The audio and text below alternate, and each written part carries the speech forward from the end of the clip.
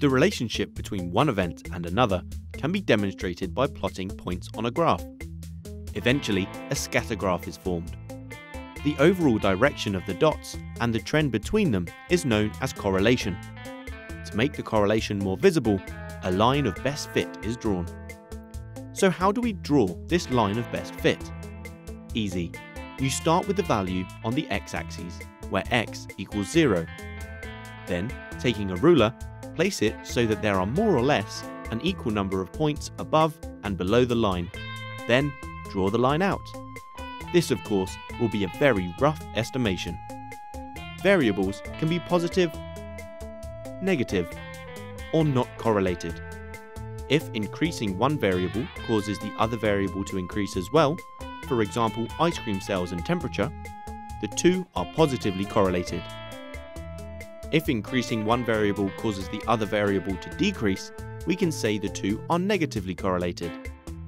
If the values appear unrelated and don't seem to affect one another, we can say there is no correlation. Correlation between two factors can often provide evidence to causation, one factor being the cause of the other. An example of this was when a strong correlation was found between smoking and incidence of lung cancer by Doll and Hill, which eventually helped the government to place controls on cigarette sales. However, correlation does not definitely indicate causation, it merely supports the argument. There are plenty of cases where two factors are correlated. However, if it's clear that one does not cause the other, then there is no real correlation between the two. We must also remember that correlation does not always mean causation. Just because the number of people who drown by falling into a pool and the number of films Nicolas Cage has starred in are correlated does not mean that one causes the other. He isn't going around shoving people into pools, and people drowning doesn't make him want to act in movies.